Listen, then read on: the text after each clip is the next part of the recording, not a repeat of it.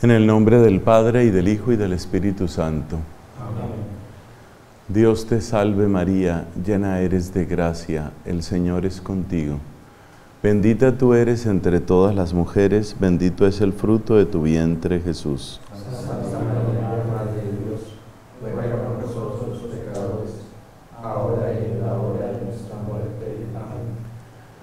En el nombre del Padre y del Hijo y del Espíritu Santo. Amén. Amigos, en esta última conferencia vamos a referirnos a los desafíos al interior, desafíos propios del ser, de nuestro ser de consagrados y del ser de la iglesia. Podemos decir que los desafíos externos como que apuntan más al hacer. Estos desafíos internos apuntan más al ser. Y según enseña la filosofía, hay mayor peso y hay mayor importancia en el ser que en el hacer. Por eso, en cierto sentido, estos desafíos son más profundos, son más continuos, son más exigentes. Son desafíos que no nos aguardan por fuera de la casa, sino adentro de la casa son desafíos que no están cuando encontramos solamente otras personas, sino que muchas veces los llevamos con nosotros mismos. Es muy interesante darse cuenta hasta qué punto estos desafíos son como una especie de costra que ya se le ha pegado a uno. Uno va pegando, uno va arrastrando cosas y las va como llevando. Y por eso trabajar en estos desafíos internos es como una obra de liberación. Es como ser más libres para mejor servir. Seguiremos con el número 7. Vamos a mencionar los siete principales desafíos que en la opinión de este servidor de ustedes mm, tienen una gran relevancia, una gran importancia hoy. Por supuesto, el, primer, el primero de ellos, que en cierto sentido los resume todos, se llama coherencia. La coherencia. Casi podríamos decir que si ese se cumpliera ya no hacían falta más. Coherencia entre lo que uno piensa, lo que uno habla, lo que uno hace. Esa simple coherencia ya resolvería muchas cosas. Esa coherencia significa también recuperar el amor primero, como lo veíamos en el día de desierto ayer. Porque en ese amor primero, realmente uno no le ponía condiciones a Dios. Usted en el amor primero Usted en su entrega inicial, usted le decía, Señor, lo que tú quieras. Ahí no había asteriscos, ahí no había aplican condiciones y restricciones, ahí no había límites. Entonces, cuando hablamos de coherencia, muchas veces tenemos que hablar de esa consagración inicial. Para muchos de nosotros, después de tantos años, volver a la, fecha, volver al momento de la ordenación diaconal o de la ordenación sacerdotal, de inmediato supone una especie de desafío. ¿Quién era yo en aquel momento? ¿En qué me he convertido? Esa pregunta es, es importante. Entonces, este es un método muy, muy sencillo, muy práctico de trabajar en la coherencia. ¿Cómo era yo? ¿Cuál fue mi amor? ¿Cuál fue mi entrega? A medida que vamos añadiendo condiciones, a medida que nos vamos llenando de derechos, de algún modo estamos perdiendo nuestra esencia. Cuando uno se va llenando de derechos, por ejemplo, cuando uno piensa que ya hay cargos o hay lugares o hay trabajos que ya no me deben poner a mí. Yo ya superé esa etapa. Ahí es cuando uno se llena de derechos y ahí pierde la coherencia. porque eso quiere decir que ya no es Jesucristo, pobre, humilde, obediente al Padre, el que está moviendo mi vida, sino ya es un proyecto básicamente personal. Es lo que ya desde la época del Papa Benedicto, la misma idea la ha tomado Francisco, se ha llamado hacer carrera.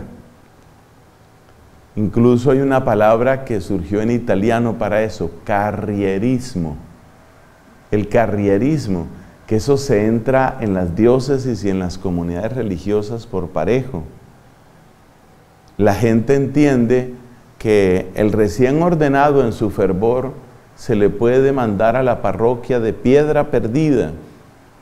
Vaya para allá, lejos. Vaya y sufra. Pero ya el padre que lleva un tiempo, ya él no vuelve por allá.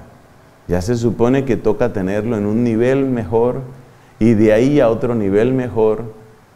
Y así vamos haciendo carrera. Pero a medida que vamos haciendo carrera, perdemos de vista a quién estábamos siguiendo. Nuestra vida consagrada es seguimiento de Cristo. Para eso estamos en este camino sacerdotal, en este camino de consagración.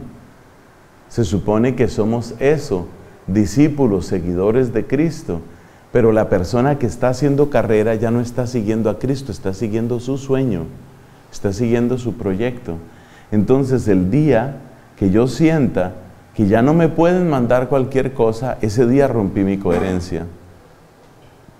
Hemos visto dos maneras de evaluar la coherencia. Primero, que lo dije muy rápido, coherencia entre lo que yo pienso, lo que yo digo y lo que yo hago. Esa es muy buena. Segundo modo de evaluar la coherencia, revisar el amor primero y revisar si me estoy llenando de derechos. Tercer modo, le voy a dar cuatro modos de evaluar la coherencia. Tercer modo de evaluar la coherencia, los cambios de discurso. ¿A qué llamamos los cambios de discurso? Cambio de discurso, por ejemplo, es cuando usted tiene un lenguaje para hablarle al pueblo, pero luego usted está en una reunión, por ejemplo, con otros sacerdotes, con otros religiosos, con el comité que organiza, y entonces su discurso cambia. Yo soy muy amigo y le debo mucho a la renovación carismática, pero mi amor por la renovación no es ciego. A mí me tocó ver, por ejemplo, una cosa escandalosa. Bueno, no quiero decir que me haya escandalizado y derrumbado, sino que es algo triste. Y lo tomo precisamente de la renovación porque es el movimiento al que yo más le debo. Y para que se note que no debemos ser ciegos. Un padre, gran predicador, además con un gran carisma, carisma de sanación, en fin, muy conocido. Y este padre cuando habla la multitud conmueve y la gente lo ha admirado mucho y lo admira mucho. A mí me correspondió hacer misión con él. Él sigue siendo sacerdote, sigue predicando.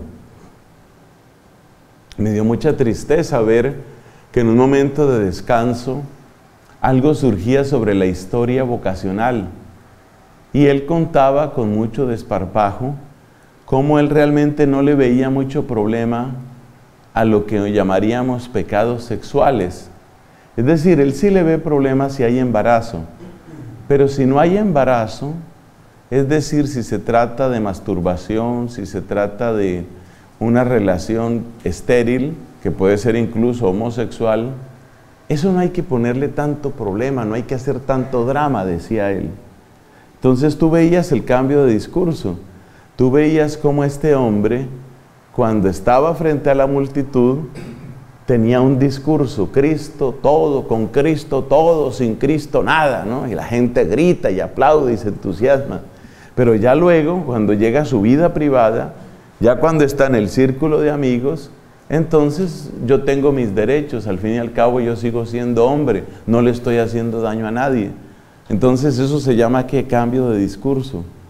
Cuando uno cambia el discurso, porque ahora no estoy predicando, porque ahora no estoy trabajando, en ese momento uno se da cuenta que la persona está perdiendo esta coherencia.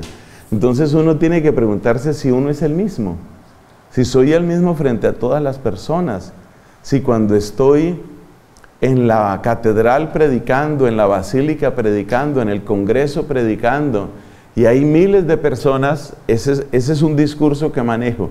Pero luego, cuando ya estoy con mis amigos o cuando estoy con mi familia o cuando estoy en otro ambiente, cambio el discurso. Cambio de discurso, no hay coherencia. Quiere decir que yo en el fondo estoy simplemente siendo un vendedor de un producto.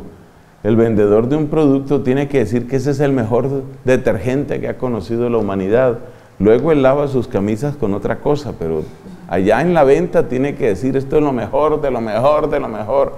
Compren, compren, compren, compren. Y allá ellos que compren y me den harta plata, pero yo para mi ropa yo utilizo otra cosa. Eso es lo que significa el cambio de discurso. Entonces uno tiene que vigilarse en la coherencia porque muy fácilmente uno cambia el discurso. El otro ejemplo que quiero dar es el de una señora muy vinculada al movimiento Provida. Pero resulta que la hija de ella, una niña universitaria, se embarazó. Y entonces yo soy provida para todos, pero que mi hija arruine su carrera y que mi hija quede con ese, esa complicación y esa situación, eso sí no. Entonces con el mayor dolor del alma, pues hubo que suspender eso. Entonces fíjate, Estamos utilizando un discurso en una parte y estamos utilizando otro discurso en otra parte. Entonces, eso le sirve a uno para examinarse en la coherencia. Van tres exámenes. Si tenemos una misma línea, cómo pienso, cómo hablo y cómo actúo. Uy, ese examen es muy difícil. Eso casa, cada rato está uno fallando en eso. Pero hay que examinarse. La solución no es dejar de examinarse. El segundo examen de la coherencia, ¿cuál era? ¿Qué qué? Miramos el amor primero. Miramos ese acto de generosidad y estarse uno vigilando si estoy haciendo carrera. Sobre todo porque acuérdese que muchos de nosotros, a otras no los molestan con eso, pero algunos tal vez hemos sentido la presión de la familia, ¿no? Ya usted en este momento, ya cuánto lleva, ya debería estar, y ya debería estar, y entonces, porque la gente se imagina a veces que esto es como las Fuerzas Armadas, ¿no?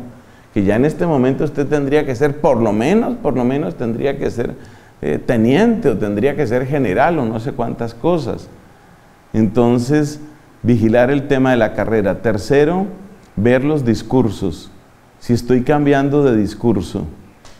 A veces usted es un león en la predicación, pero se encuentra con sus compañeros de colegio, entonces ya ahí es otra cosa, ya ahí entonces todo vale, ya no hay ningún problema. El cuarto elemento, el cuarto test para vigilar la coherencia es el tema de los horarios. Eso de que yo soy sacerdote de 8 a 12 y de 2 a 6 es una cosa muy peligrosa. Mi corazón tiene horario con Cristo. Esa es una pregunta muy buena. Es, es importante hacerse esas preguntas algún sacerdote, a mí me marcó un sacerdote formador de mi comunidad que decía, tengan en cuenta jóvenes, ustedes nunca se van a conocer tanto como en el tiempo de vacaciones. Cuando usted no tiene ninguna presión, ahí es donde usted tiene que ver qué sucede con la oración. Ahí es donde usted tiene que ver qué sucede con sus votos, con su conversación, su manera de conversar, su manera de hablar. Ahí usted se puede examinar y se debe examinar. Entonces el tema de los horarios y los calendarios es muy útil porque uno va viendo eso, uno va viendo si, cuando termina la ceremonia es parecido a lo anterior, ¿no? Si cuando termina la ceremonia yo sigo siendo de Cristo o no. Si cuando termina la misión yo sigo siendo de Cristo. Si cuando termina el retiro yo sigo siendo de Cristo. Entonces el tema de los horarios y los calendarios. Entonces el primer reto es la coherencia, pero no lo hemos terminado todavía, porque es que falta otra cosa, y es la coherencia comunitaria. No, este es dentro del mismo punto de la coherencia, lo puedes dividir en 1A y 1B, y el 1A se divide en cuatro, los cuatro exámenes personales. 1A es coherencia personal, 1B es coherencia comunitaria. Y los cuatro exámenes que hemos dicho son los cuatro exámenes de 1A, de la coherencia personal. Pero luego hay que trabajar en la coherencia comunitaria, que es mucho más difícil, porque la coherencia comunitaria es hacer lo mismo, pero de acuerdo con nuestra comunidad. Esto se nota especialmente en las comunidades religiosas, claro. En el mundo diocesano también se puede vivir en la medida en que la persona tiene conciencia, por ejemplo, de que hay un plan pastoral, de que hay una fraternidad sacerdotal, de que yo no soy solo, yo soy miembro de un presbiterio. Esto también es importante. Claramente en la vida diocesana esos lazos van a ser un poco menos cercanos, pero mm, yo creo que de todas maneras sí es bueno, sí es bueno mantener esa pregunta. Entonces, coherencia comunitaria es un poco preguntarnos por eso. No soy solo en la vida. Yo no soy simplemente el pontífice de un Vaticano chiquito. Hay gente que no tiene parroquia, sino que tiene un Vaticano chiquito. Entonces tienen ahí su congregación para el culto divino o diminuta, tienen todo, lo tienen. Y, ellos tienen, y se dan sus propias autorizaciones y todo. entonces, entonces hay, que, hay que revisarse en ese sentido. Yo no soy solo, yo soy parte de una arquidiócesis, yo soy parte de un plan pastoral yo soy parte de un presbiterio, yo soy parte de una comunidad. Y esa revisión de la fidelidad y de la coherencia comunitaria es clave, es completamente clave, porque esa revisión es la que nos permite también ayudar a que no se desmorone, a que no colapse, a que no se rasgue la obra que el Espíritu Santo quiere hacer, por ejemplo, con la comunidad. A la comunidad hay que cuidarla, a la iglesia hay que cuidarla. ¿Y quién la va a cuidar? Cuando uno es muy chiquito en la comunidad, uno como que siente lo que piensan los niños, ¿no? Alguien lo hará, alguien. Pero a medida que vamos creciendo, y yo creo que el sacramento del orden nos invita a examinarnos mucho en eso, a medida que vamos creciendo uno sabe que no se puede indefinidamente decir alguien. Alguien también soy yo. ¿Quién va a cuidar la fidelidad al carisma? Alguien también soy yo. Entonces esto implica desafíos a veces muy, muy grandes porque, porque el ser humano tiende a la mediocridad y los seres humanos tendemos a taparnos todos con la misma cobija. De manera que si yo voy descendiendo a la mediocridad, yo quiero que usted también sea otro mediocre y como dice el refrán colombiano, hagámonos pasito. Usted no se mete conmigo, yo no me meto con usted y los dos estamos tranquilos, pero tranquilos cada uno hundiéndose. Entonces, esta parte de la coherencia comunitaria muchas veces supone un gran vigor espiritual porque supone activar o reactivar los mecanismos comunitarios para darle vida a lo que es.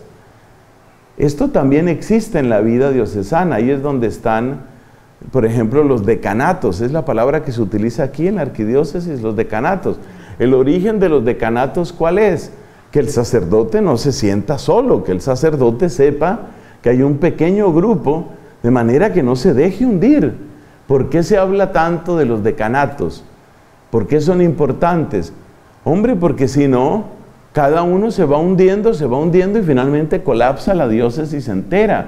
Entonces, tener esos decanatos, esos, esos pequeños grupos, esas pequeñas asociaciones, aunque sean un poquito informales, es tratar de sostener la vida diocesana, que no se nos olvide que necesitamos formación, que no se nos olvide que necesitamos oración. Bueno, todo eso pertenece al primer punto que es la coherencia, coherencia personal y comunitaria. Le repito, si nosotros viviéramos esto, casi que sobraba todo lo demás. Segundo desafío interno, conservar y acrecentar la identidad católica de nuestras obras. Obras como cuáles? Como por ejemplo, un colegio. Yo creo que ese es un ejemplo muy válido. En una misión en que estuve en España, me enteré del caso de un colegio que pertenece a la diócesis. Esto sucede en el sur de España, por la región de Murcia. El colegio pertenece a la diócesis, de hecho pertenece a la parroquia. ¿Cómo llegó a la parroquia? Por una donación. Años atrás, un señor muy católico hizo grandes donaciones a la parroquia para que tuviera un colegio, colegio parroquial, allá en España. Bien, todo bien hasta ahí. El sacerdote, perdóneme que descienda un poquito a los detalles, pero es para que se vea cómo se pierde la identidad. Ese, esa obra pertenecía a la parroquia, ya dije. Pero el párroco tenía mucho trabajo, suele suceder. Entonces el párroco empezó a delegar. Y hay una cosa que no se nos debe olvidar, y es que la persona humana tiene un impulso natural a adueñarse. La persona que usted pone al frente de una obra por mucho tiempo se siente dueña de la obra. Eso no falla. La gente se adueña de las cosas. Entonces, un párroco, no el de ahora, yo conozco el párroco de ahora, le repito, esto es en la diócesis de Murcia. Yo conozco el párroco de ahora, me pareció realmente un hombre extraordinario, en circunstancias que no son las más fáciles ahora en España. Me pareció un gran sacerdote. No fue este sacerdote, todo este problema viene de años atrás. Años atrás el sacerdote que estaba tenía su gente de confianza. Su gente de confianza, él la puso ahí. Y el problema que uno tiene es que cuando uno siente que uno se ha quitado un problema de encima, ya uno se queda tranquilo. Pero esa persona duró años y duró años y duró años. Y esas personas que quedaron en ese colegio, ese grupo de amigos iniciales del sacerdote, prácticamente se adueñaron del colegio. No sé si eso les haya pasado alguna vez a ustedes. Creo que eso por aquí no ha pasado, que la gente se adueñe, eso como que no ha pasado. Pero sí pasa en algunos sitios. Usted deja una persona y la persona se considera indispensable. Hago un paréntesis para un chiste bobo, pero es que es verdad. O sea, no es chiste, es anécdota. Paréntesis para un chiste bobo. Este, este chiste, que no fue chiste sino anécdota, sucedió en Estados Unidos. Llegó un señor nuevo a una parroquia. Y entonces le pregunta a una señora que la veía ahí como, como que entraba, salía, funcionaba, ¿no? Le dice, señora, ¿usted sabe si hoy hay confesiones aquí? Le dice la señora, no, los martes no confesamos. Entonces, entonces ya la señora, fíjese, ¿no? Ya ella, o sea, usted empieza por darle la camiseta, pero la gente que se pone la camiseta, después se siente dueña de las llaves, se siente, ¿y, qué trabajo? Para hacer, ¿Y qué trabajo quitarle las llaves? Oiga, y para hacerle la historia corta del colegio este de España, porque yo lo conocí y fui a visitarlo. Como ustedes saben, la legislación ahora en España es muy hostil a la Iglesia Católica, muy hostil. Entonces, los que se quedaron ahí atornillados, bien atornillados en su puesto, y cuidado me mueve de aquí, ¿no? Porque ya tengo los derechos aquí, estoy bien atornillado. Esos se aprovechan de la legislación actual de España para las cosas más absurdas. Por ejemplo, no querían dar clase de religión. Colegio parroquial en donde no se puede dar clase de religión. ¿Por qué? Porque dejaron que los laicos se adueñaran de las obras.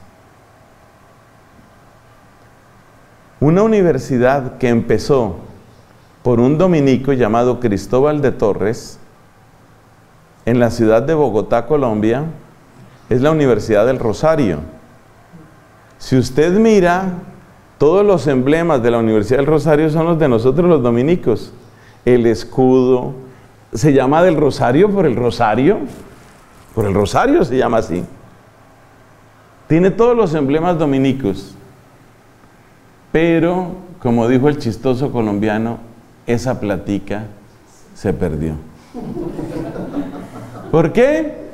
Porque Fray Cristóbal de Torres, tratando de hacer más, eran tiempos de persecución siglo XIX, puso en cabeza de la universidad, puso a quién? A unos laicos. Y estos laicos, cuando ya tuvieron que reformar los estatutos, fueron sacando, sacando, sacando, sacando. Nos sacaron completamente. Hace mucho tiempo que nosotros los dominicos no tenemos nada que ver con la Universidad del Rosario. Y hace mucho tiempo que en esa universidad, aunque hay cosas muy buenas, no se le quita como institución universitaria respetable, pero también hay cosas completamente contrarias a la Iglesia Católica con todo el rosario y con todo el escudo dominicano y con todo eso. Entonces, cuidar la identidad es algo delicado. Le voy a dar otro ejemplo. Caritas. Caritas no tiene demasiada fuerza en nuestros países, pero es uno de los elementos o uno de los caminos más fuertes de ayuda humanitaria en Europa. Por ejemplo, en España. Si usted revisa los afiches de Caritas, Caritas hace campañas para recoger dinero, recoger donaciones para sus obras. Si usted revisa los afiches de Caritas de los últimos 12, 15 años, consíguese una buena lupa. En la mayoría de ellos no va a encontrar ni un solo símbolo cristiano. Y la filosofía de ellos, ¿cuál es? Si nos ponemos muy cristianos, nos llega el dinero de los liberales, el dinero de los ateos, el dinero de los indiferentes, el dinero de los agnósticos. Entonces Caritas nació en la iglesia, pero le ha dado una patada a la iglesia. Los tres grandes fundadores, de los cuales solo recuerdo un nombre, Konrad Adenauer, los tres grandes fundadores de la Unión Económica Europea, que luego dio origen a la Unión Europea, eran católicos. La razón por la que la Unión Europea tiene la bandera azul es por la Virgen. Pero cuando fueron a hacer la constitución, la especie de constitución marco para la Unión Europea, no se ponían de acuerdo en muchas cosas, pero sí se pusieron de acuerdo en una. No hay que mencionar a Dios en esta constitución. Le dieron también una patada. Sigo con ejemplos, sigamos.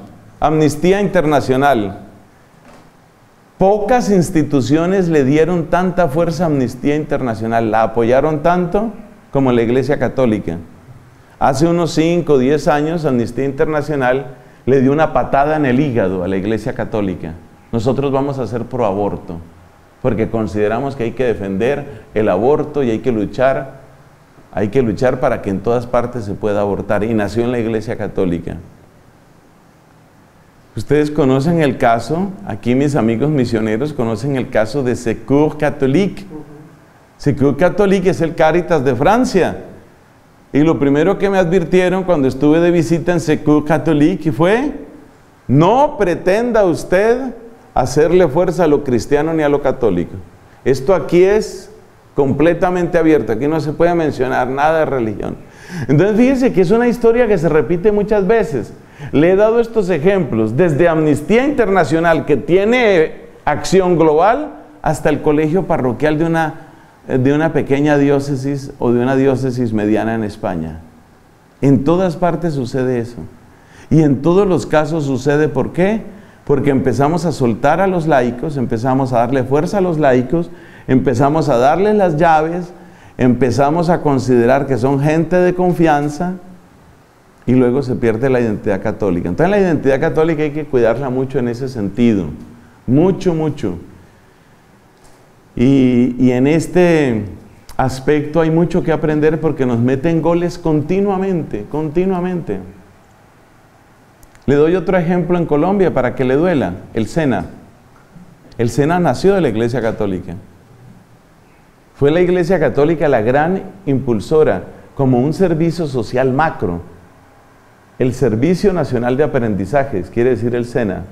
El SENA tiene miles y miles, pero a medida que ha ido teniendo todo tipo de directores y de directoras, cada vez la Iglesia Católica afuera, afuera, afuera, en este momento, eso no existe por allá. Realmente no existe. Una cosa, una pequeña cosa nominal. Entonces uno tiene que preguntarse cómo se cuida la identidad católica. Ese es un gran desafío. Porque muchas veces esas instituciones, cuando se van de la iglesia, se van escupiendo y golpeando la puerta, azotando la puerta. Fíjese el caso de Amnistía Internacional. Amnistía Internacional, que se supone que debía luchar por la liberación de presos políticos, es un desastre actualmente en términos morales y nació de la Iglesia Católica. Y esas son las más adversas, esas son las peores enemigas de la Iglesia. Entonces hay que tener cuidado con eso. Pero además de este tipo de instituciones en que se le ha dado mucha importancia a los laicos, ese sería el tema 2A, ¿cierto? Que son las instituciones que nacieron de la iglesia pero perdieron su identidad. Entonces ahora le voy a decir el 2B. El 2B es más complicado. Son las instituciones que nacieron de la iglesia y que siguen en manos de la iglesia, pero que han perdido la identidad católica. Y aquí hay que señalar especialmente a las universidades llamadas católicas y hay que señalar a las universidades llamadas pontificias en buena parte. Universidades que han perdido completamente la identidad católica. Y usted se pregunta por qué. ¿Por qué? Bueno, yo me llevo haciendo la misma pregunta cerca de 20 años y he llegado a un par de conclusiones que son las que le voy a contar aquí, porque la vida da muchas vueltas y usted tal vez un día está en una posición de responsabilidad. Acuérdese que hay universidades diocesanas, hay universidades arquidiocesanas, entonces eso también pasa. Yo debo decir aquí, porque lo he dicho en privado, yo por ejemplo no estoy satisfecho con la situación actual de nuestra Universidad Santo Tomás, para no mandarle decir razón a nadie. Yo no estoy satisfecho con la situación de nuestra Universidad Santo Tomás. Me parece que presta muchos servicios en muchos aspectos, pero la fuerza de evangelización, yo me permito poner grandes signos de interrogación. Y las cosas que están pasando en la Universidad Santo Tomás como en otras, que supuestamente son católicas, por favor ponerle signos de interrogación. Claro, cuando una comunidad está pequeña o está reciente, normalmente no tiene instituciones tan grandes. Entonces yo sé que las comunidades religiosas que aquí nos acompañan en este momento no tienen esas instituciones. Pero fíjese que un movimiento tan fuerte en Colombia como es Lazos de Amor Mariano ya quiere tener universidad.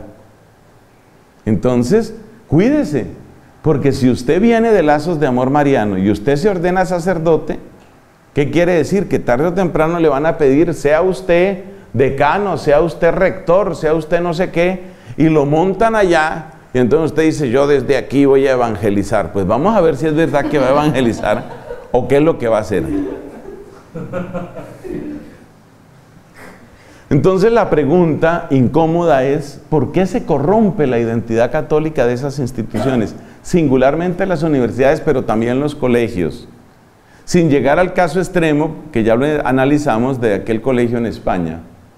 ¿Qué pasa? Pasan dos o tres cosas que son las conclusiones que puedo sacar en 20 años de estudios. O sea que le estoy exprimiendo 20 años de estudios en este momento. Pasa lo siguiente. Pasa que una institución educativa queda sujeta a muchas presiones y a muchas expectativas.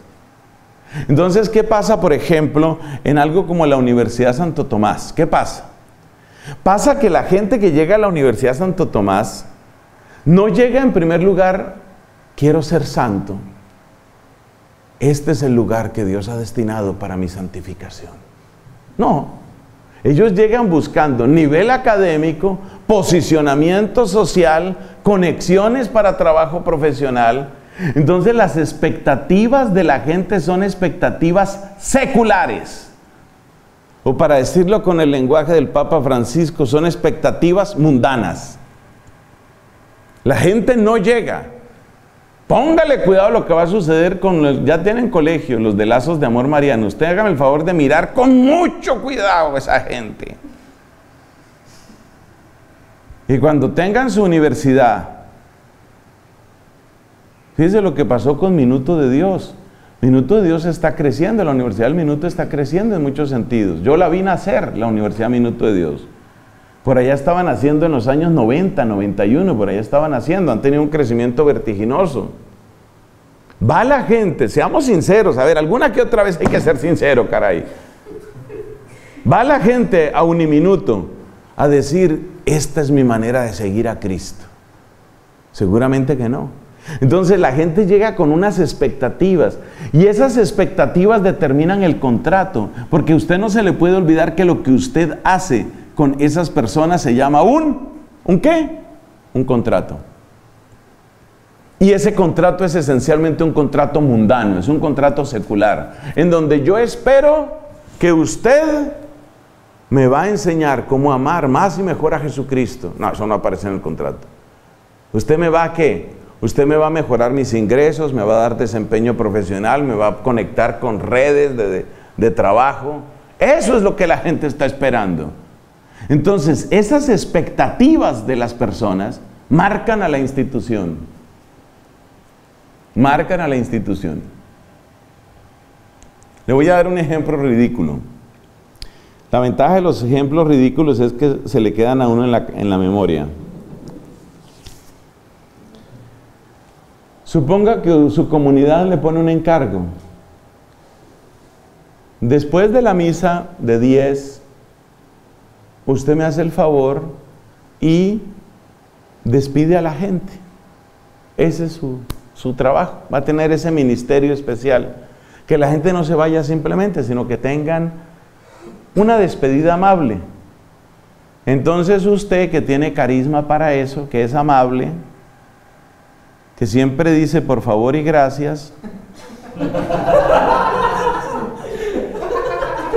usted que es el amable de la comunidad, Usted me hace, usted me hace el favor de ser, usted tiene el ministerio de la despedida.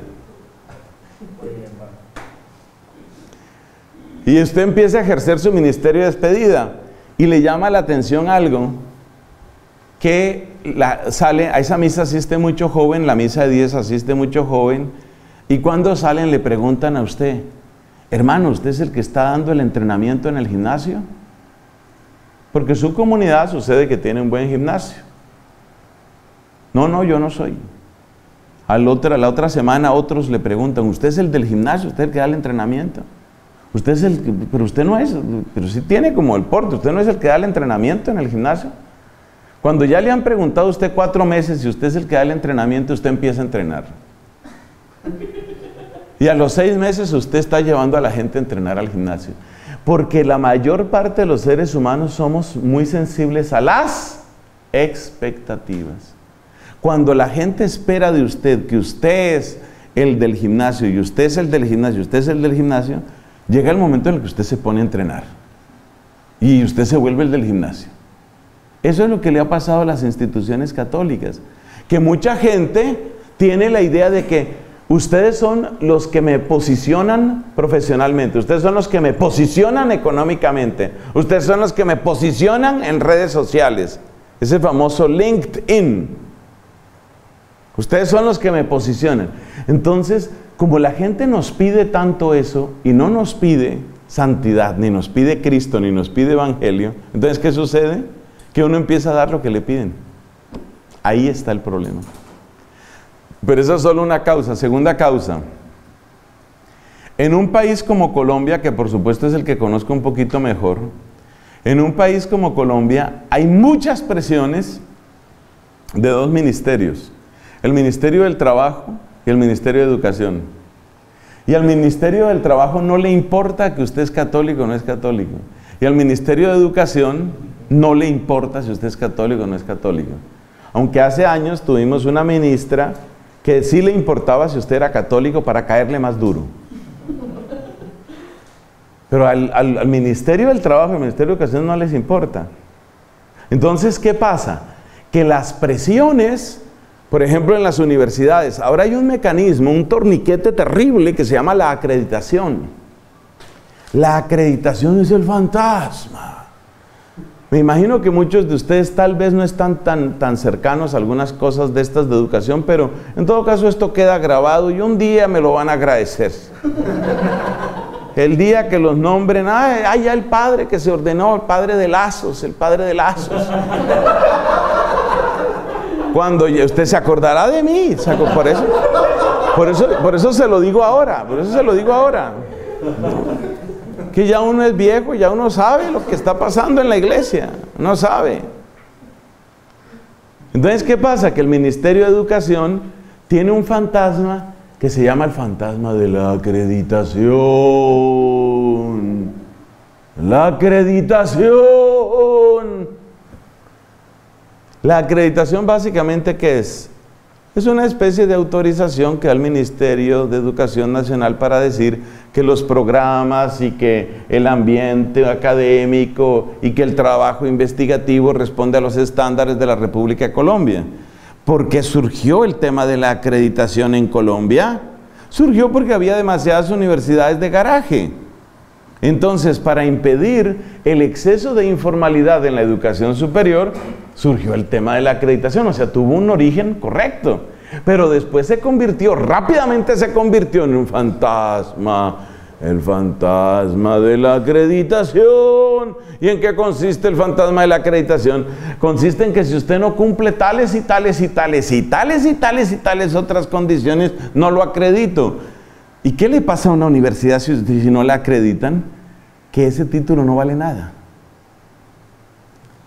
y la gente no quiere dar plata donde el título no vale nada. Si el título no está, si el programa no está acreditado, no es la universidad en general, es que cada programa tiene que estar acreditado. Y si el programa no está acreditado, usted tiene serios problemas porque usted no tiene manera de dar un título que valga laboralmente.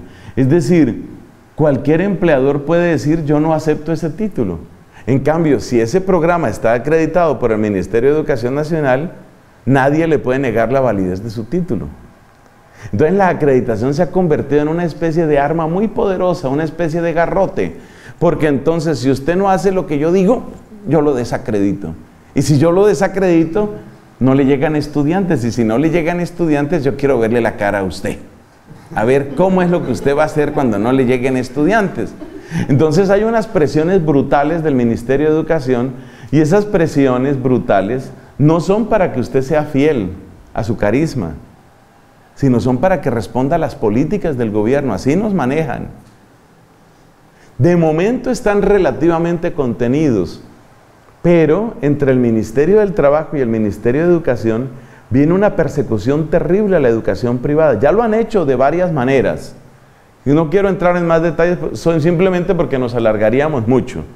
Pero es bueno que usted se entere de estas cosas, que usted sepa que esto está sucediendo. Entonces, ¿qué pasa? Imagínese una ley. Ley que dice, tiene que haber un porcentaje de afrodescendientes en la nómina de su empresa. Porque si no hay ese porcentaje, se presume que usted está discriminando en contra de los afrodescendientes y entonces adivine qué vamos a hacer. Permiso, saco el garrote, adivine qué voy a hacer. Lo voy a desacreditar a usted o le pongo una multa. Bueno, lo de los afrodescendientes a uno no le preocupa tanto, uno dice, bueno, está bien, puede ser.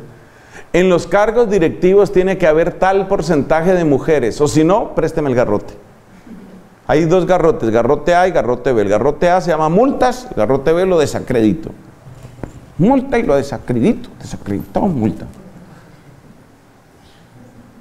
Entonces, ¿usted qué hace? ¿Usted qué hace con eso? Usted no aguanta eso. Siguiente paso en la ley. Acuérdense de mí. Porque es posible, es posible que yo hasta profeta sea, es posible. Que me han salido varias. Es posible. Siguiente paso. Si usted no tiene tal porcentaje del colectivo LGBT, entonces usted tiene una multa. Nuestra identidad es católica y no compartimos ideología de género. No le estoy preguntando cuál es su identidad. Usted está trabajando en la República de Colombia, usted tiene que responder a esto. Entonces ya no da risa, ¿no? Ese es el problema. Entonces nos van robando la identidad católica. En primer lugar, nos roban la identidad católica por la expectativa de los clientes, entre paréntesis, estudiantes. En segundo lugar, nos roban la identidad católica por las presiones de los ministerios. Y si nosotros no nos asociamos, si las agrupaciones católicas, las instituciones católicas no nos asociamos, esto es terrible. El ataque contra las instituciones católicas va por todas partes. Esto que está sucediendo, por ejemplo, con el bienestar familiar, que lo conocemos muy bien, los misioneros de Cristo Maestro, esto es parte de esa obra. Es básicamente quitar las obras a la iglesia. ¿Y por qué? Porque son fuentes de dinero, porque son fuentes de financiación. Entonces ahí hay un ataque fuerte. Y hay otro ataque todavía, y ese otro ataque, ¿cuál es? Hermanos, que también se nos entra una especie de idolatría. A los religiosos y a los sacerdotes se nos entra una especie de idolatría hacia la ciencia, la economía del siglo XXI, la tecnología, la ultrapedagogía. Entonces yo me he encontrado reuniones en las que se presenta, no mire, es que realmente yo esto se lo he oído a sacerdotes. Realmente nosotros tenemos que ponernos al día en muchas cosas, estamos muy atrasados, hay que ponernos al día. Padre, ¿qué quiere decir usted con ponernos al día? Bueno, que hay nuevas técnicas pedagógicas para manejar la relación enseñanza-aprendizaje, la relación docente-alumno, y esas nuevas técnicas no las estamos implementando. ¿Quiere darme un ejemplo de esas nuevas técnicas? Yoga, meditación, mindfulness. Entonces a nosotros se nos entra una especie de idolatría de los términos nuevos y de las corrientes nuevas y sentimos que no podemos estar atrasados. Entonces por no estar atrasados, ¿tu colegio tiene mindfulness? No, mi colegio no tiene mindfulness, tiene baños, tiene, laboratorios, tiene laboratorios, tiene talleres, porque en mi colegio sí tenemos mindfulness. Entonces, hay tres factores que están arruinando las instituciones católicas. Primero, las expectativas de los clientes. Eso está arruinando. Porque la gente llega con una expectativa. Segundo, las presiones de los ministerios, singularmente educación. No, pero me faltó mencionar un ministerio ahí, perdóneme usted, salud. Todas las obras de salud. Ministerio de Educación, Ministerio de Salud, Ministerio del Trabajo, tienen unas presiones bárbaras sobre las, las, instituciones de la Iglesia Católica. Y tercero, que nosotros los sacerdotes y los religiosos nos volvemos idólatras de lo que hoy, hoy se está haciendo. Hoy se habla de. Y uno se pregunta, ¿y el hecho de que hoy se hable de, qué quiere decir? ¿Eso qué implica? Lo que hay que ver es si eso es verdad o no es verdad, si eso sirve para el Evangelio o no sirve para el Evangelio. Ese es el criterio que deberíamos tener y no lo tenemos. ¿Y sabe detrás de todo esto que hay? Está otro pequeño demonio que yo lo llamo el informe de gestión. El informe de gestión es lo que usted tiene que presentar cuando usted entrega su cargo. Y la gran felicidad en el informe de gestión es utilizar un programa que se llama PowerPoint. O lo el equivalente. Porque eso existe en otras plataformas con otros nombres. Entonces la felicidad suya es presentar su informe de gestión. Y ya usted sabe cómo es el informe de gestión. Yo recibí este colegio, era un colegio muy pequeñito. Cuando yo lo recibí era una cosa terrible, es una cosa espantosa. En ese momento tenía 54 estudiantes. Ahora les estoy entregando un colegio con 180 estudiantes. El presupuesto con el que yo tuve que trabajar era un presupuesto terrible. Había gente que nos pagaba con botones, otros pagaban con granos de maíz.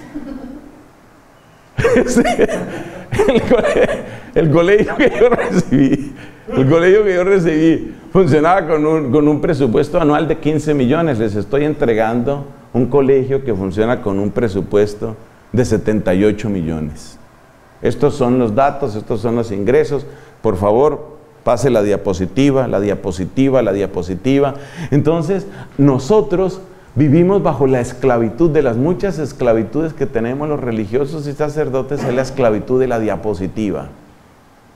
Tiene que salir, mi informe de gestión tiene que salir bien bonito, bien bonito y bien bonito es la frase esa que dijo el emperador Augusto. Ay, Dios mío, esa frase retrata tanto la naturaleza humana. Él duró de emperador pues mucho tiempo, ¿no? Allá en Roma. Y la frase en la que él resumía, y eso que no había PowerPoint en la época del emperador Augusto. Pero, pero mire, mire cómo, mire cómo él resumió su, su, ¿cómo se llamará eso? Su periodo de emperador. Mire cómo él lo resumió. Recibí una ciudad de ladrillo, entrego una ciudad de mármol. Ya pueden aplaudir porque ya entrego una ciudad de mármol. Entonces, en el fondo es eso, es el ego, es el ego. El ego es el que está detrás de todo esto. Entonces, por eso perdemos identidad en las obras católicas. Y oponerse a eso es tan difícil, pero tan difícil. Dígamelo a mí, Dios mío. Dígamelo a mí, porque yo lo he vivido en muchas partes. Oponerse a eso es muy difícil, porque detrás de eso están esas presiones, el contrato cliente-empresa, las presiones de los ministerios, singularmente trabajo, salud y educación, luego las modas, la presión de las modas. Entonces, claro, mientras uno es chiquito, uno no siente tanto eso, pero a medida que las comunidades van creciendo, a medida que las diócesis van creciendo, nos vamos llenando de expertos. Yo que conocí, yo amo profundamente la obra del Minuto de Dios y que no se pongan bravos conmigo ellos por esto que estoy diciendo y que se está grabando. Pero yo amo profundamente, yo conocí el Minuto de Dios chiquito. Y yo conocí cuando empezó a crecer y cuando se empezaron a llenar de expertos y se empezaron a llenar de presupuestos. Y en algunas cosas mejoraron y en otras perdieron el rumbo. Esa es la realidad, las cosas hay que decirlas. Entonces estos son desafíos muy grandes. ¿Cómo conservar la identidad católica? Es algo muy serio. Hay casos en los que la iglesia realmente no supo qué hacer. El caso histórico más famoso en el que la iglesia no supo qué hacer es un caso que ha servido para muchas novelas. Es la historia de los templarios. Los templarios eran un movimiento laico, poderoso, lleno de dinero, y la iglesia no supo qué hacer con ellos. ¿Qué pasó con los templarios? Eso lo averiguará usted, pero después de que acabe el retiro. Pero es importante que usted se dé cuenta que estas historias ya han sucedido desde antiguo. La iglesia no sabe qué hacer con algunas instituciones. Porque es que la única manera, yo sí le voy a dar una pequeña respuesta, la única manera de conservar una institución fiel a su carisma es llenándola de santos. Tienen que ser personas que estén al frente de la institución y que por encima de las presiones de los clientes, por encima de las presiones de los ministerios de gobierno, de salud, de educación o de lo que sea, por encima de las modas de este tiempo, por encima de todo eso, sean capaces de estar Jesús, Jesús, Jesús, centrados en Jesucristo. Mientras no tengamos líderes así, ese será el destino de las instituciones católicas. Lo mismo que cuando hablábamos de los desafíos externos, eso vale también para estos internos. Los dos primeros son los más fuertes. Es decir, el tema de la coherencia personal y comunitaria y este tema de la identidad católica de las obras. Tercer desafío interno, tercer desafío propio de nuestro ser en la iglesia, la superación de las falsas alternativas, es decir, ¿Tú eres de derecha o eres de izquierda? ¿Eres tradicionalista? ¿Eres liberal? ¿Eres ultracatólico? ¿Eres requete? ¿O qué eres tú? Superación de las falsas alternativas entre la derecha y la izquierda. ¿Cuál es la clave? para superar estas falsas alternativas. A ver, ¿qué es lo que qué es lo que insiste con mayor frecuencia a lo que llamamos usualmente la derecha? ¿Qué es lo que insiste? Insiste en dos cosas, en la doctrina y en la liturgia. ¿Y en qué insiste principalmente lo que solemos llamar la izquierda? ¿En qué insiste? insiste también en dos cosas. Y esas dos cosas son el sufrimiento y la exclusión. Entonces, las tendencias de izquierda, también a veces llamadas progresistas, muchas veces llamadas liberales dentro de la iglesia, siempre tienen esas dos obsesiones. ¿Qué pasa con la gente que está sufriendo y qué pasa con los excluidos? Las tendencias de derecha siempre tienen dos grandes preocupaciones. ¿En dónde quedó la doctrina? ¿Y por qué se está celebrando mal la liturgia? Esas son las dos grandes tendencias de derecha. Entonces, ¿qué es lo que nos corresponde a nosotros, amados hermanos? No hay por qué escoger. Se lo resumo porque ya hay que empezar a resumir, se lo resumo. No escoja. No hay por qué escoger. Entonces, sea usted un diácono, sea usted un sacerdote o un obispo, según el caso, sea usted un ministro que no escoge. Decía Gilbert Chesterton, refiriéndose a Santo Tomás de Aquino, lo hermoso de Santo Tomás fue que donde no había que escoger, no escogió. Y aquí no hay que escoger. Me voy por la verdad, la pureza de la doctrina, perfecta ortodoxia liturgia pulcra. Por consiguiente, no tengo tiempo para atender gente que esté por allá sufriendo y eso. Que se encarguen otros, los izquierdistas, que se encarguen de eso. No escoja. Usted no tiene por qué escoger. Sea usted, y este es el, desafío, sea usted una persona que cuida con igual celo la pureza de la doctrina, la dignidad de la liturgia, el cuidado a los que sufren, y la búsqueda de los excluidos. Mire, si usted toma esos cuatro puntos cardinales, usted no pierde su brújula, se los repito, porque yo no sé ustedes de qué tendencia son. Me imagino que unos serán un poco más de derecha, otros serán un poco más de izquierda. Eso no nos importa ni nos debe importar. Cuide usted la pureza de la doctrina, la dignidad de la liturgia, el dolor de los que sufren y la búsqueda de los excluidos. No hay por qué oponerlo. Tenemos que cuidar todo eso. Si usted cuida todo eso, usted no tiene por qué llamarlo ni de derecha ni de izquierda. Hay un Papa Santo, Pío V, Papa del siglo XVI, da la casualidad, ustedes no me van a creer, pero da la casualidad que era dominico. San Pío V, para mí, es el ejemplo de esto que estamos diciendo. Pureza de doctrina, dignidad en la liturgia, atención al que sufre, cuidado del que sufre, búsqueda del excluido. Cuide esas cuatro cosas. Y como decía nuestro Señor Jesucristo, bendito sea su nombre, no estará lejos del reino. Cuide esas cuatro cosas. Cuando usted empiece a descuidar algunas, la gente se lo cobra, tarde o temprano. No, yo tengo, mi, discurso es ortodoxo, plenamente ortodoxo, soy una plomada, estoy completamente centrado. Pero, ¿dónde está su cuidado al que sufre? ¿Y dónde está su búsqueda de los excluidos, incluyendo, claro, los no creyentes?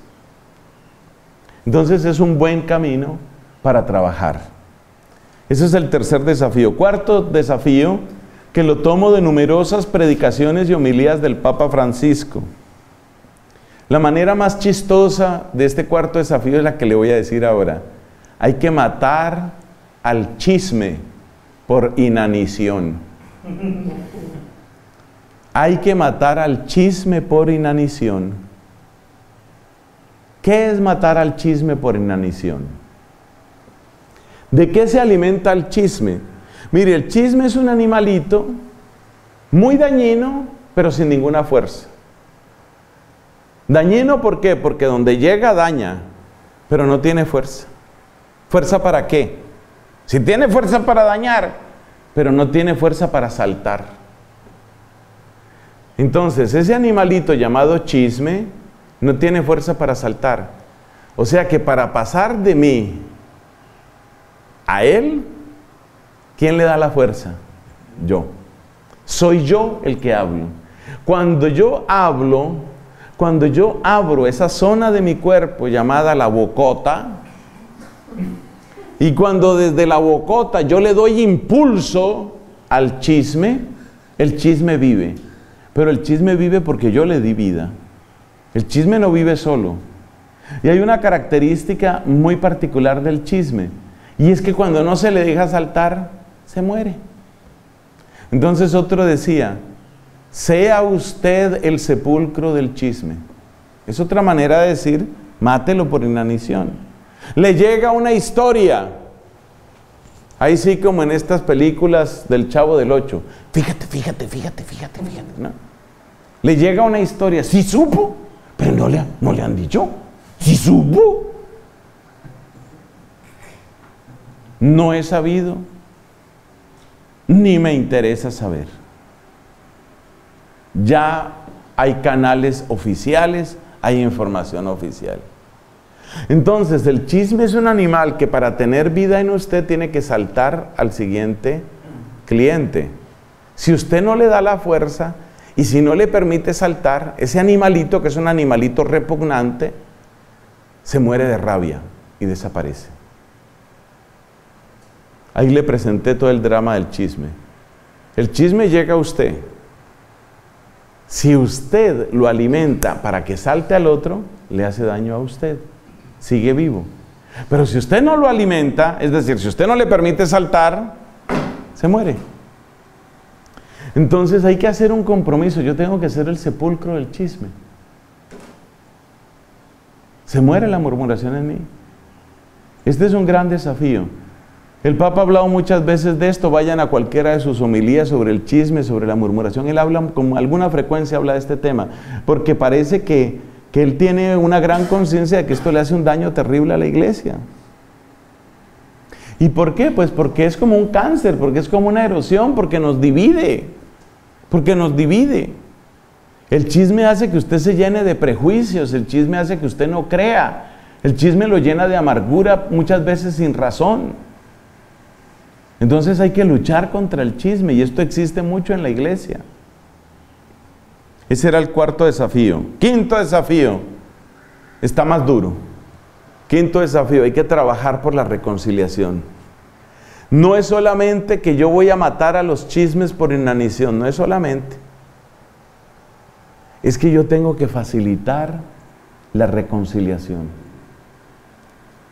En todas partes hay divisiones por derecha e izquierda, por tradicionalistas y, los de la novedad.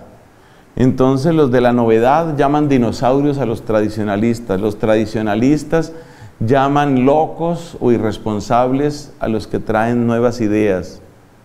Hay muchas fuentes de división, tristemente. Acuérdese que también la Biblia nos habla de una gran fuente de división que se llama ¿quién es el primero?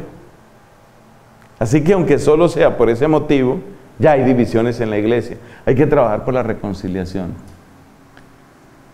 Podemos dar siquiera uno o dos consejos sobre qué se puede hacer para trabajar por la reconciliación. Sí.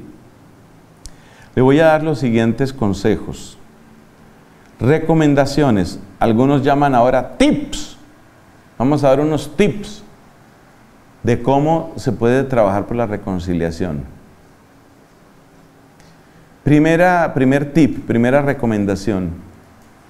Distinga muy bien entre lo que es oír un desahogo y compartir una opinión. Ojo, son dos cosas diferentes. Oír un desahogo y compartir una opinión. Hay veces que hay que oírle un desahogo a una persona.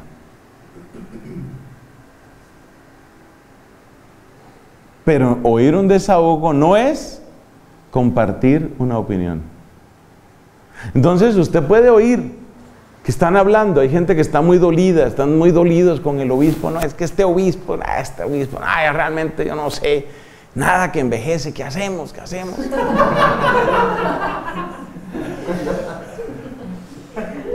Entonces, esas, divisiones, ¿no? A veces hay que oírle el desahogo a la gente. Porque es muy humano que las personas a veces se sienten que ya no pueden más. Escuche, pero aún en la escucha, sobre todo al final de esa fase de escucha, hágale sentir a la otra persona que usted no necesariamente está de acuerdo con todo. ¿Qué puede utilizar usted? Hombre, me parece que si hay situaciones muy serias, habría que ver cómo se puede colaborar a solucionar esto. Es decir, que la persona se dé cuenta que usted estuvo dispuesto a escucharle en su pobre desahogo, pero que eso no quiere decir que usted esté de acuerdo. Es decir, que la persona encuentre descanso, pero no complicidad en usted. Escriba esa frase que le conviene. Que los demás encuentren descanso, pero no complicidad en nosotros. Esto vale también para la pastoral.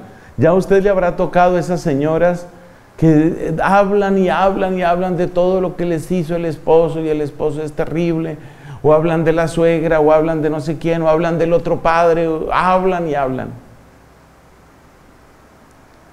A mí en un convento de clausura me tocó escuchar a una monjita que duró 20 minutos, más de 20 minutos, explicándome por qué Dios le prohibía desahogarse. Casi media hora me explicaba por qué no se puede desahogar. Yo decía, el día que esta mujer se desahogue, si o sea, si esta es la explicación de por qué no se puede desahogar. El día, el día que se desahogue, esto va a ser, esto va a ser terrible. Entonces, una cosa es oír un desahogo y otra cosa es, otra cosa es compartir una opinión. Una cosa es ser un descanso, un alivio y otra cosa es ser complicidad. Segundo punto, después de que la persona se haya desahogado, ayúdele usted a ver dos cosas. ¿Qué parte de responsabilidad quizás tiene la persona? Oiga, todos tenemos también responsabilidad en las cosas. Es que el tema está en que cuando uno es inmaduro, yo creo que todos somos muy inmaduros en muchas cosas, cuando uno es inmaduro, ¿uno qué hace? Uno quiere que toda la culpa esté en la otra persona. Entonces hay que ayudarle a decir, no, un momentico, tal vez tú tienes también un poco de parte de responsabilidad en esto. Hay que saber cuándo se suelta esa frase. Cuando la persona esté en el pleno desahogo o esté en el pre-desahogo, que era, lo de la monja. Estaba en el pre-desahogo, no había empezado el desahogo. No es el momento todavía. Pero si hay un momento en el que usted puede hablar a la persona y decirle, bueno, pero ¿y tu parte de responsabilidad qué? Tú también tal vez tienes algo. Y lo mismo, otra parte. ¿Y en qué puede tener razón el otro? Eso es ser ministros de reconciliación. Siempre que sea posible, rodéense de oración, por favor, rodéense de oración en esas conversaciones, prometan oración y pidan oración. Es que es verdad, uno sin oración no es nada. Entonces hay que prometer oración, hay que hacer oración, hay que pedir oración. Oiga, yo le invito, mire, esta situación ha sido muy terrible, yo le invito a que no, no, dejemos de orar por esto. No, yo creo que eso ya la oración, eso ya ese tipo está endurecido, encallecido, ya no le sirve para nada la oración. Bueno, pero tal vez sí puede servir para usted o para mí, oremos. Uno tiene que apelar siempre hacia la oración. Entonces esas son recomendaciones para ser ministros de reconciliación. Sexto, desafío. Esto va llegando a su final. Hay que integrar la riqueza de los movimientos eclesiales. Por favor, no perdamos los movimientos eclesiales. Independientemente de la experiencia espiritual que uno mismo haya tenido.